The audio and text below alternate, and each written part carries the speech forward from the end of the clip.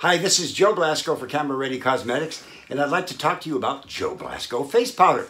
There are two different types of face powder. One is loose, and it comes in a jar, like so, right? And there's a powder puff in here, and there is a sifter above the powder so that when you turn the container over and you tap it a couple times on the top, the powder goes through the sifter and onto the powder puff.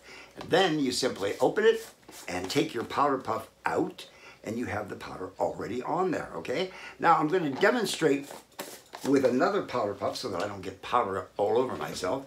And what you do is you do a process that we call loading the puff. Say the powder is already on the puff. What you do then is you fold the puff in half, you rub it together like so to get it worked into the puff, and then with your fingers, your thumbs, you smooth it over the top, then you fold it like, like so, and this way you have a nice flat surface with which to use to simply press the powder where you have the areas that are shiny so that you're able to simply dull those areas. Now, if you see powder on your face, then you've applied too much. You don't want to see the powder, you only want to see the results of the powdering process, which means it's removed the shine, all right? So that's the loose powder. Now, you can do exactly the same thing with the pressed powder, all right? Pressed powder, you can take the pressed powder container and you take your powder puff and you just rub the powder puff over the top of the makeup and then you can fold it in half, load the puff, and then apply it like so, just as you did with the loose powder. Okay, now we have a color called light for light skin, medium for medium skin, and dark for dark skin. We also have a very dark powder that we call ebony for very dark skin. All right, so there's light, medium, dark, and ebony. That comes in both the loose powder form and the pressed powder form.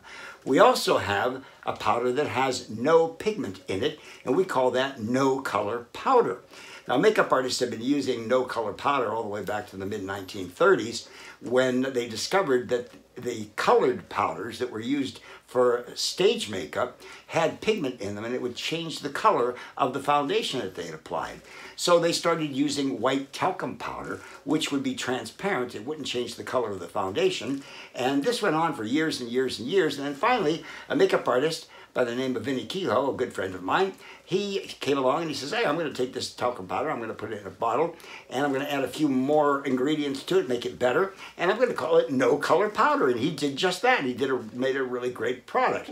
Well, we have exactly the same type of product. It's a no color powder, and it's not only in loose powder form, but it's also in compact form. Now, our compact no color powder has been around for 45 years. That's right. So the makeup artist could just put it in their pocket, carry it out there and take their brush and work it over and go right on.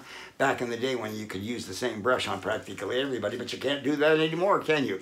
But this is all about you, so being that you're doing your own makeup, you can use your brush, right? So you don't have to worry about touching the surface of the makeup. So there you have it. You have pressed powder, you have loose powder, light, medium, dark, ebony, and then you have the no color powder that also comes in both loose and in pressed. And guess what? You can get them all right here at the Camera Ready Cosmetics website. Joe Blasco for Camera Ready Cosmetics.